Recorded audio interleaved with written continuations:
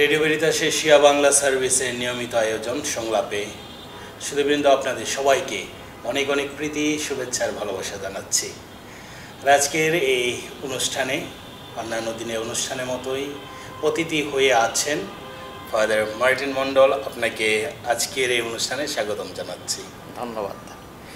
এই ফাদার এই সংলাপ শব্দটা শুনলেই আপনার চিন্তা জগতে কি একটা মনোভাব বা চিন্তা জেগে ওঠে। সংলাপ বলতে আপনি কি বোঝেন?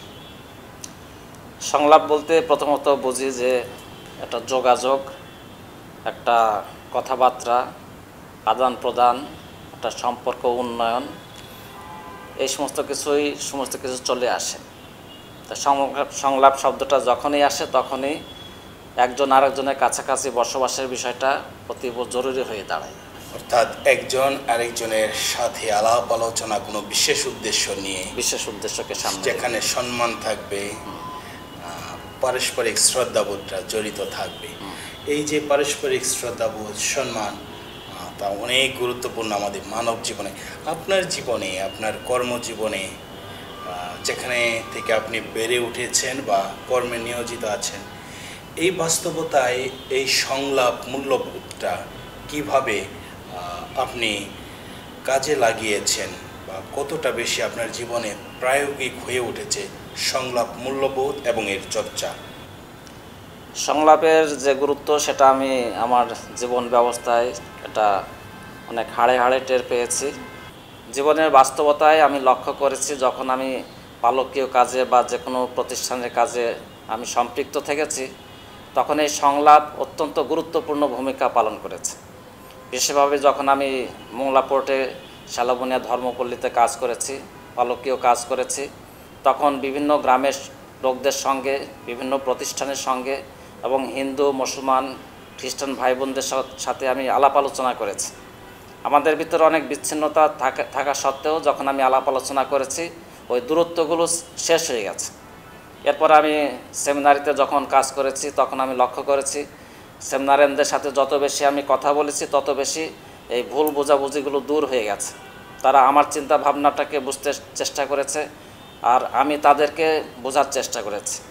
এরপরে যখন আমি বিশপ সাউজে কাজ করেছি, ছয় বছর প্রকুরেটরের কাজ করেছি, প্রশাসনের ভিতরে কাজ করেছি, তখনও লক্ষ্য করেছি যে পুরুষদের ভিতরেও অনেক ভুল বোঝাবুঝি আছে যেটা এই সংলাপের মধ্য দিয়ে এটা কাটিয়ে ওঠা যায়। কারণ যখনই আমরা সংলাপ করব, কথাবার্তা বলব, আমার মনের ভিতরে কী আছে সেটা আরেকজন জানতে পারবে, আরেকজনের মনের ভিতরে কী আছে সেটা আমি জানতে পারব। তখন একটা সমন্বয় সৃষ্টি করা, এটা সম্ভব হয়। আর বিশেষভাবে লক্ষ্য করেছি যখন আমি সেন্ট পলস উচ্চ বিদ্যালয়ের প্রধান শিক্ষক ছিলাম, সেখানে আমার কাজ করার সুযোগ হয়েছে। হিন্দু, মুসলমান, খ্রিস্টান, যেমন ছাত্রছাত্রী, তেমনি শিক্ষকবৃন্দ, তেমনি অন্যান্য স্কুলের, প্রায় চব্বিশটা স্কুলের শিক্ষকবৃন্দের সঙ্গে আমার সম্পৃক্ততা ছিল। যেহেতু আমি কেন্দ্র সচিব ছিলাম এবং প্রশাসনিক ক্ষেত্রে ইউনো থানার ওসি তাদের সঙ্গেও আমার অনেক সংলাপ হয়েছে। বিশেষভাবে যে এলাকায় আমি কাজ করেছি, সেই এলাকায় যারা চেয়ারম্যান ছিলেন, যারা মেম্বার ছিলেন, তাদের সাথেও আমার সম্পৃক্ততা ছিল। এ ধরনের অনেক প্রোগ্রামও আমি করেছি যেখানে হিন্দু, মুসলমান, খ্রিস্টান তারা আমরা সব একসঙ্গে বসে আমাদের ভিতরে কীভাবে দূরত্বটা কমানো যায় কীভাবে সমস্ত কিছু আমাদের নিজস্ব ধর্মমত বজায় রেখে মানুষ হিসাবে আমরা একে অন্যের কতটুকু কাজে, কাছে আসতে পারি সেই চেষ্টাটা আমরা করেছি। এবং এর অনেক সুফলও আমরা পেয়েছি। আমরা একে অন্যকে জানতে পেরেছি, আমাদের ভিতরে অনেক দ্বন্দ্ব, এটা সরে গেছে, এবং আমরা একসঙ্গে খেয়েছি, একসঙ্গে চলাফেরা করেছি, এমনকি একসঙ্গে খেলাধুলাও করেছি। ও, দারুণ দারুণ কথা শুনছিলাম আজকের অতিথির মুখ থেকে, যিনি সেন্ট পলস উচ্চ বিদ্যালয়ের প্রধান শিক্ষক ছিলেন এবং কীভাবে জীবনের সাথে উনি এবং তার সাথে সহযোগী যারা ছিলেন সংলাপ করেছেন। একটি কথা তিনি বলেছেন, সংলাপ সমন্বয় জীবনে নিয়ে আসে। এই সংলাপের মধ্য দিয়ে আমাদের মধ্যে যে অজ্ঞতা, মানুষ সম্বন্ধে, একজন সম্বন্ধে আরেকজনের অজ্ঞতা, সেটি কেটে যায়। আর অজ্ঞতা যখন কেটে যাবে, তখনই তো সেখানে আলো জ্বলবে। যে আলো সংলাপ আমাদের জীবনে নিয়ে আসে। আজকে আরেকটু আপনার কাছ থেকে জানতে আমরা আরেকটু উৎসাহ বোধ করছি যে এই যে সংলাপ যেখানে ধর্মীয় আহ, ব্যারিকেড নেই ধর্মের ঊর্ধ্বে উঠেও সংলাপ করা যায় যার যার ধর্মকে শ্রদ্ধা রেখে যেটা একটা উৎকৃষ্ট উদাহরণ আমাদের দেশ যেখানে সংখ্যা গরিষ্ঠ মুসলিম ভাই বোনদের সাথে অন্যান্য ধর্মের ভাই বোনেরা রয়েছেন এবং সুন্দর একটা কৃষ্টি আমাদের দেশে রয়েছে। এই বাংলাদেশে সংলাপ কীভাবে সম্প্রীতি আনতে পারে বলে আপনি মনে করেন? আমার যেটা মনে হয় সেটা আমরা যখন একা একাকী থাকি তখন আমরা কি অমিল আছে, কোথায় বিচ্ছিন্নতা আছে সেগুলো নিয়ে আমরা চর্চা করি। কিন্তু যখন আমরা সংলাপের ভিতরে যাই তখন আমরা খুঁজতে চেষ্টা করি আমাদের ভিতরে মানুষ হিসাবে কি কি মিল আছে। যেখানে যেখানে মিল আছে, সেখানে সেখানে আমরা একসঙ্গে হতে পারি। অবশ্যই আমরা যার যার ধর্ম, যার যার কৃষ্টিতে আমরা থাকতে পারি, কিন্তু এমন কিছু কিছু বিষয়গুলো আছে যেগুলো আমাদের মানুষ হিসাবে এক করে তোলে। যেখানে কোনো হিন্দু, মুসলমান, খ্রিস্টান কোনো ভেদাভেদ থাকবে না। তাই সংলাপের মধ্য দিয়ে আমরা সেই কমন বিষয়গুলো একসঙ্গে আনতে পারি, যেটা আমাদেরকে একে অন্যের ভিতরে যে দূরত্ব আছে, সেটা অনেক দূর করতে চেষ্টা, সচেষ্ট হতে পারি আমরা।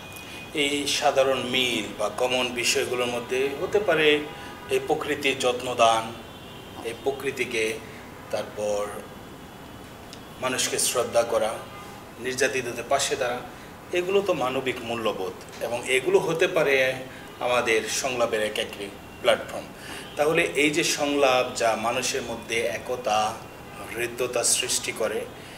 এর মধ্য দিয়ে আমরা একজন আরেকজনের পাশে যেতে পারি, যেটি আপনি সুস্পষ্টভাবে বলেছেন। কিন্তু আমরা বর্তমান বাস্তবতায় পৃথিবীতে বিশেষভাবে দেখছি, আমাদের পার্শ্ববর্তী কোনো কোনো দেশে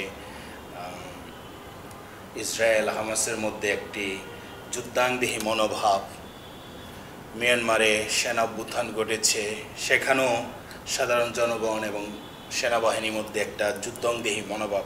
এমনিতর অবস্থায় পোপ মহোদয় পোপ ফ্রান্সিস আহ্বান রেখেছেন সংলাপের মাধ্যমে সমাধান করতে। এই যে একটা মূল্যবোধ পোপ মহোদয় একটা উদ্দাত্ত আহ্বান বিশ্ব জগতের কাছে, এই মূল্যবোধটাকে আপনি কীভাবে দেখছেন?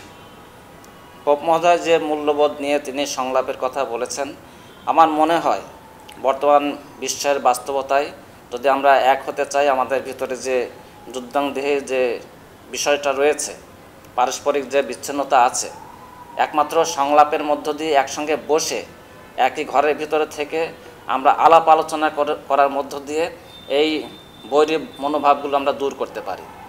একসঙ্গে যদি আমরা না বসি, তাহলে আমরা একে অন্যকে জানতে পারব না। আমরা যদি একক, এককভাবে বসে থাকি, তাহলে আমরা অন্যের ক্ষেত্রে কি হচ্ছে সেটা আমরা জানতে পারব না।